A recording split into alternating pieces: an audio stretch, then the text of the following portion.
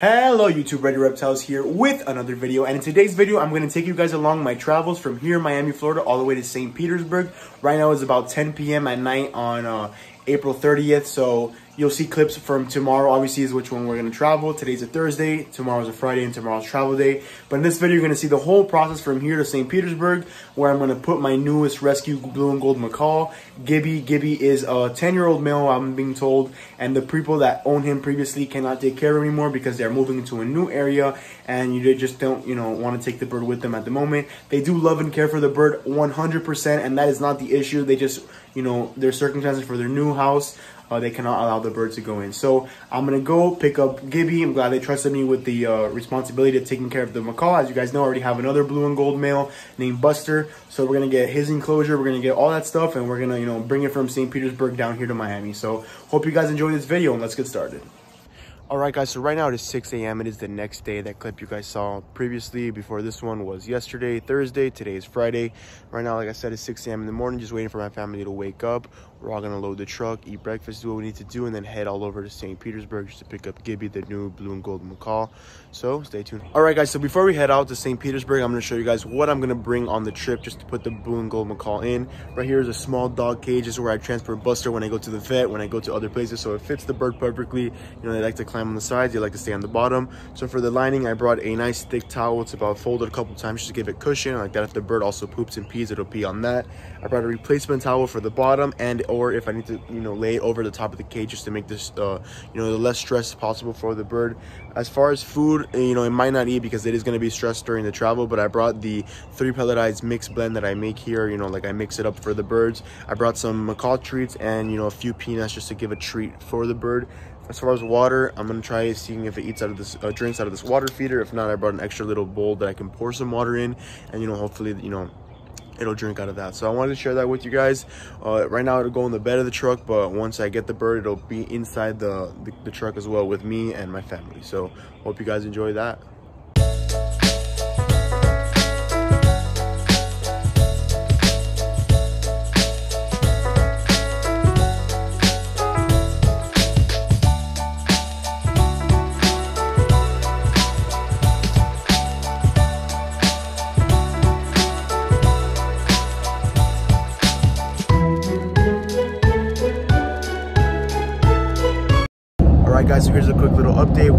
Two hours and a half away from our destination in St. Petersburg to pick up the blue and gold macaw. You can see in the truck, you see the cage in the bed, and everyone inside the car is chilling. So hope you guys enjoy some of these shots of the drive up there, and then in the next clip, you guys will see when we arrive.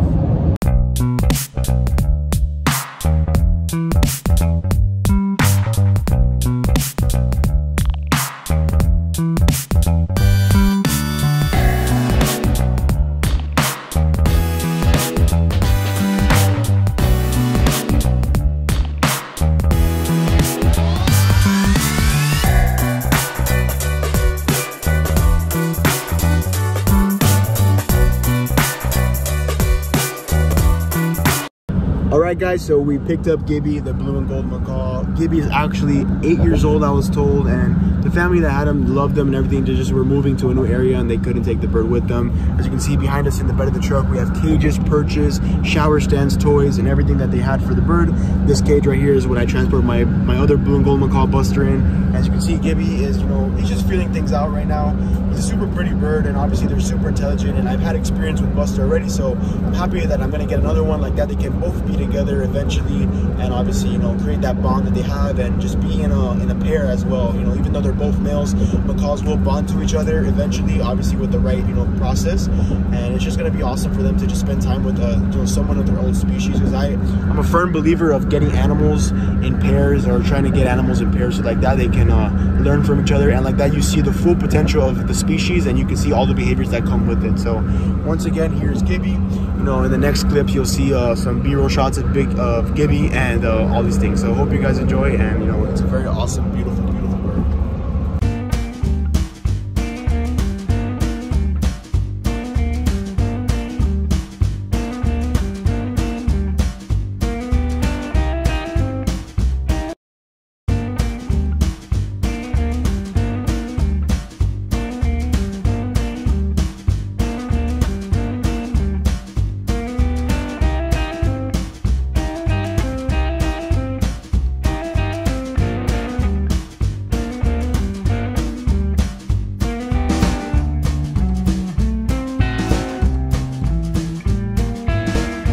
right, guys, so I just made it home from St. Petersburg. As you can see on top of my shoulder is Gibby. Now, here is one of the perches that Gibby came with. He also came with a full cage for him and another metal perch that he supposedly likes to hang out on. So it's gonna be a work in progress just to get uh, Gibby used to the area that he is in because, you know, he is an eight-year-old bird and they have their own habits already. So once uh, Gibby gets used to me and, you know, Gibby starts to meet Buster and they just both, you know, learn from each other, uh, we'll be able to put them together and hopefully, you know, just get a be two beautiful birds going. Uh, Gibby's a lot, uh, you know, looks a lot more, uh, I would say healthier just because Buster's a lot older as well. So we're gonna get two different looks from the birds, two different ages. So once they both, um, you know, just get used, well, once Gibby gets used to the area, we'll have, a, you know, two happy birds. So I just wanted to bring you guys this. I'll show you some clips next of the cage he came with, some of the toys and stuff, and then we'll get more clips of Gibby. I also want to, you know, do this clipper here just to make people aware that when you do go out and get a parrot, and uh, obviously here I have two blue and gold macaws. Buster is on his outdoor outdoor perch right now, but he would be also behind me on his perch and this is Gibby's indoor perch. So they're gonna sleep in the same room together. But when you go out and you know you try to buy a pair, you must understand that they're a big responsibility. I've gotten both these uh, animals through rehoming, and there's nothing wrong with rehoming your animal, and the circumstances may be different for everyone.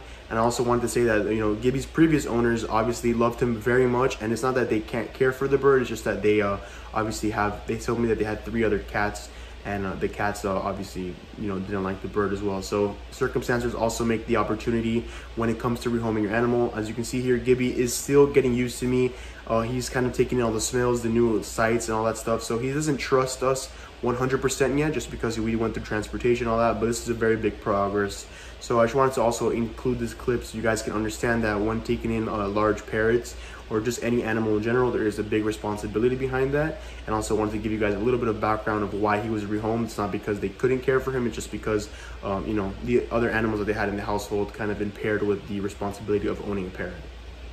All right, guys, so here's the cage that he came with. Uh, I was told that he's never really inside the cage, but uh, I'm going to use it for now. You know, obviously I'm going to repurchase it. Uh, you know, they came with a lot of toys and stuff, but I'm going to make it, you know, more enjoyable for the bird just so that he has more spaces to climb around.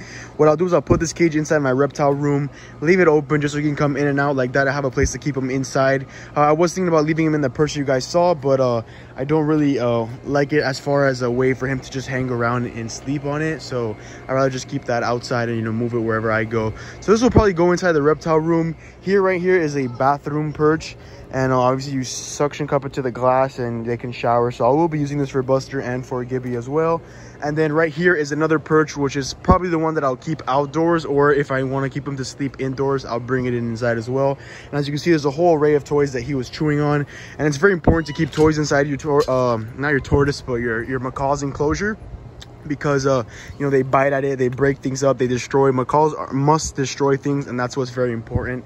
So as you guys can see we got this perch we got the bathroom perch then we got this big cage plus the perch that you saw inside and then of course gibby the macaw. So you know this is pretty much all the materials that it came with. You know came with a little bit of food but obviously i have my own diets for my macaws and obviously fresh veggies in the morning and sometimes occasionally fruit. So i just wanted to show you guys everything it came with and then this right here, guys, is Buster. Buster is my male blue and gold macaw. Another one that I have, you know, is my original male. As you can see, he's playing with some rope. I make him his own toys with a plastic chain and some PVC pipes. And we made this outdoor perch for him. His wings are clipped, so he really won't go anywhere. And he's never been enclosed in his entire life. So that's why I keep him outside. So as you can see, there's a difference between the looks and the size and the age of, the, of these birds. So that's why they look different. And uh, obviously, excuse the background as my, my parents are making a happy birthday video. But I wanted to share this with you guys. So you can see, he's a little bit angry now because it is hormonal season for these animals. Uh, they're going through a breeding season and, uh, you know, they just want to pair up and stuff. So here's Buster. And just so you guys know, we are scrubbing down the cage and all the stuff that came with it. Uh, as you can see, here's the pan that goes under the, the cage and, you know, the cage had poop and stuff. So we're just going to scrub it down and, uh, you know, keep it all nice and clean. All right, guys, so here's Gibby one more time inside the reptile rooms where I keep some of my iguanas, incubators, some of the snakes. You know, I just finished cleaning that, another snake enclosure. There's Buster. But I want to show you guys where Gibby and Buster sleep at night. I bring all my birds inside uh, you know, the, at least the big ones because they don't have enclosed areas outside. So like that, they can stay safe from predators and obviously weather and things of that sort. Uh, you know, they'll, they'll be safer indoors. So this room is a, has a little bit of AC as well. So they're going to be nice and, uh, you know, chill and obviously not going to overheat or anything. So I decided to put Gibby's cage in here. Obviously, uh, he's not going to be in here all the time, but when he is in here, this perch suffices enough. He has that big, uh, you know, swing stand back there, some toys. I can mix and match food and water as well. He's pretty much just to have the door open all the time. As you can see, I tie wrapped it, so I won't be able to close it anyways. Like that, he can just come in and out as he please, eat, eats, uh, drink water, and that he'll just chill on top. And then here is Buster. Buster obviously is a lot older than Gibby. Gibby's eight years old. Buster is 22 years old. So, you know, the, the looks and appearances and, you know, where they came from previously obviously impairs how the bird will look. But we're here to correct everything. As you guys can see, uh, these parrots are eating a three mix pelletized diet.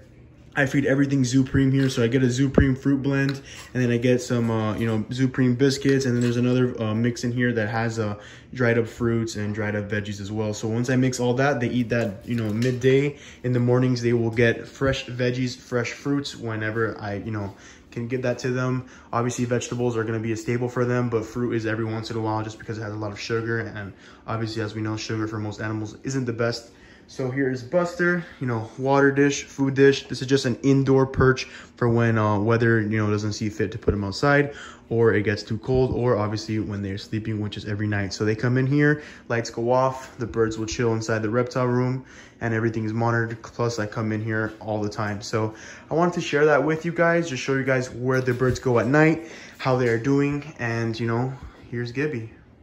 Alright guys, so I wanted to bring you guys this clip and explain to you guys it's to take Gibby a couple days, maybe even a couple weeks just to kind of establish himself and familiarize himself with the area because remember he is coming to a place where there are new sights, new smells, new people. It's a completely new area for him, a new habitat, so he doesn't really understand where he is and since he just went through a long process in the car ride in a cage, uh, I'm just to give him his time. As you can see, he's doing very well and like I said, explained previously, he's not an aggressive bird or anything. He just has habits that were created by his old owners and uh, you know, he's just familiarized with the different environment. So once he establishes himself and gets used to everything, we'll be able to take him outside. You know, obviously we'll get Buster and him to just join forces because it's just cool to have two parrots that are, are bonded and can have this relationship. Once each parrot is individually bonded to me, I will then introduce them to themselves. Like that, I can have an individual relationship with each bird and they can have a mutual relationship with each other.